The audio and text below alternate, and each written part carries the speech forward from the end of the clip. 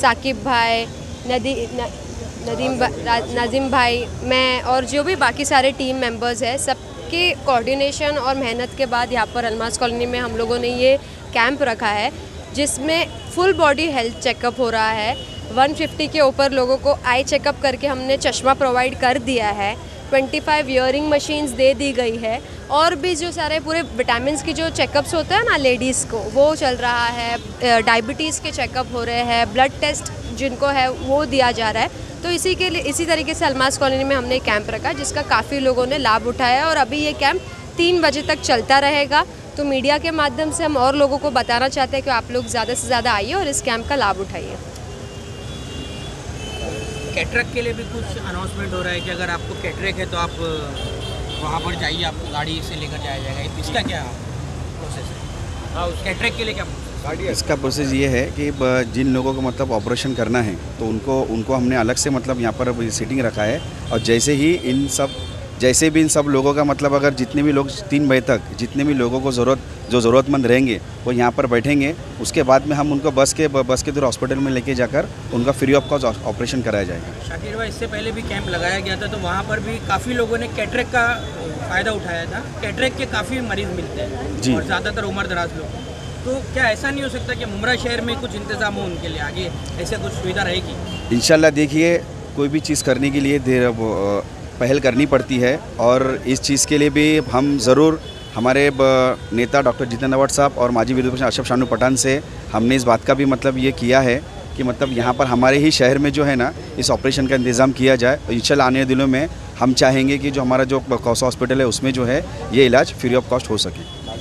आने वाले दिनों में ऐसे और कैंप लगाए जाएँगे बारिश के मौसम में? इंशाल्लाह ज़रूर लगाए जाएँगे। देखिए ये कैंप जो है ये पहली बार ऐसा कैंप लगा नहीं है। हमारे नेता अशरफ शानू पठान ने जो है, जित- डॉक्टर जितेंद्र साहब के मार्गदर्शन में सालों साल और हर महीने कुछ ना कुछ कैंप का आयोजन हमने करते करते आए हैं और इंशाल्लाह आगे भी करते रहेंगे।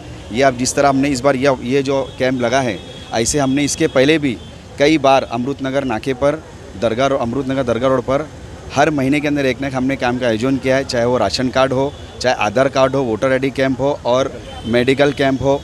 हर चीज़ के हमने कैंप लगाकर जो है लोगों को इसको ज़्यादा से ज़्यादा हमने फ़ायदा पहुँचाने की कोशिश की है और इन आगे भी इस काम को हम जारी रखेंगे।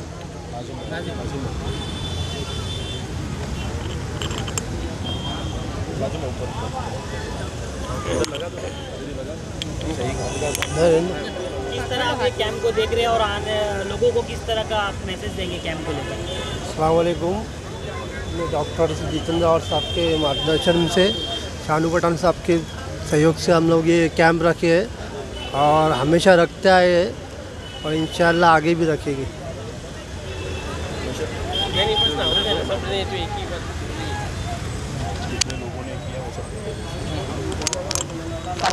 क्या डिटेल बताएँगे आप? अभी तक कितने लोगों ने फ़ायदा उठाया? चश्मे का तो पता चल गया है। बॉडी चेकअप का भी यहाँ पे कैंप है। और जिस तरह से अभी कैटरिक के बारे में बात हुई, नहीं है मोतियाबिंद के बारे में।